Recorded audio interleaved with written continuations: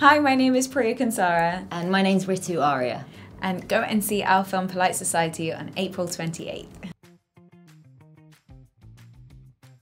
It was very easy. I mean, Priya is just like the most beautiful human that exists, so I didn't have to do much work to, to fall in love with her. Um, we we hung out uh, uh like once. I invited her for breakfast before rehearsal or before we started shooting, mm. um, and uh, yeah, I, I got I got Priya a gift because I was like, yeah, maybe this will so make her like me.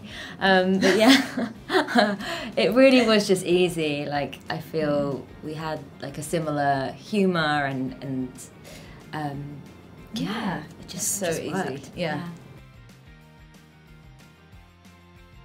Oh, um, so I did most of my own stunts in this film, um, which I was just so lucky to have such an incredible stunt team who kind of supported me and empowered me throughout the whole process because I had not done martial arts before getting this role. So I had about like a month and a half from when I had been cast to when we started shooting to kind of learn as much of it as I possibly could. So um, they they stood with me and I did also have an incredible double, Erin, who was there the whole time and she was so helpful in terms of like helping me learn from her because I could mirror her action and how she was doing it. And of course there are some things in the film that definitely I was unable to do or you know considered more dangerous for example so um, yeah it was definitely split but I was so lucky to try everything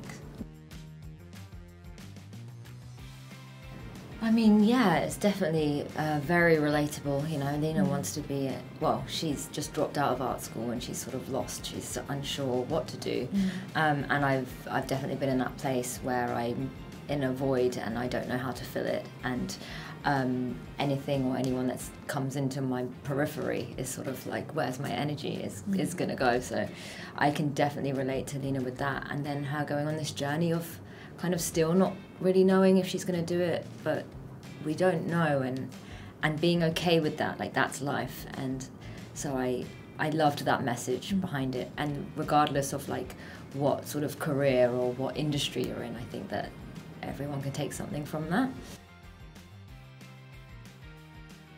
Oh my gosh, working with Nida is honestly such a joy. She is such um, an incredible collaborator, like bringing all of these people in and giving them the space um, and the freedom to um, explore and give and, and add to her vision. And um, she's just so kind and, an incredibly like talented. Um, and i feel like we just felt like sisters on set. And you know when you come in and you have fun every day you know this it's just this, such a special feeling. And we all feel so lucky and honored to have been able to work with her